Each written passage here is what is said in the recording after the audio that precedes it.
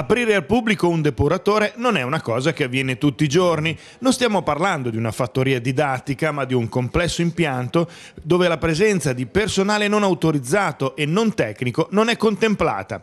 Pertanto lo sforzo compiuto da ASET per ospitare alcune scolaresche delle scuole medie ed elementari fanesi nell'impianto di Ponte Metauro non è stato di poco conto, ma il management dell'azienda ha capito che conoscere è capire. E quindi se questi bambini e bambine fanesi fanno il bagno in acque pulite e se Fano da anni conquista la bandiera blu, lo si deve anche a questo pionieristico impianto di depurazione degli anni 70, quando ancora una coscienza ecologista ed ambientalista non era nel DNA di molte città italiane. Questa volontà è stata portata avanti, c'è da dire, in maniera pionieristica all'inizio, ma con regolarità e con coesione da tutte, sia dalle parti tecniche che dalle parti politiche che si sono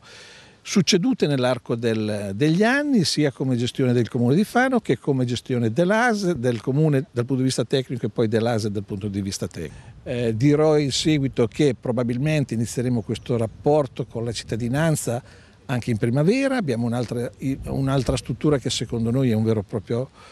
fiore all'occhiello che è la discarica di Monteschiantello, quindi lavoreremo già da subito per cercare di aprire alla cittadinanza e quindi anche a coloro che vogliono visitare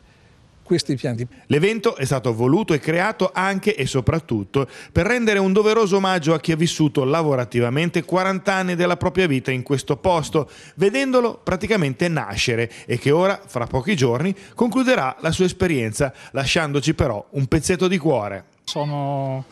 eh, capo impianto fino ad ancora qualche altro giorno perché chiudo la mia diciamo, carriera lavorativa qui a Fano eh, dopo essere stato in questo impianto che è stata per me la seconda casa dopo 38 anni quasi. Io sono passati 38 anni quasi tutti qui dentro e sono diventato forse un pochino fanese perché io vivo da Mondavio, la mia famiglia è di Mondavio e quindi la realtà è questa ma per chi lascia c'è chi inizia la sua avventura lavorativa dopo un periodo di affiancamento con i vecchi leoni, rubando esperienza e piccoli segreti che non si imparano nelle università ma sul campo per gestire qualcosa che non è un monolita immobile ma un impianto vivo e dinamico. L'azienda si è organizzata, mi ha dato la possibilità di fare un periodo di affiancamento e quindi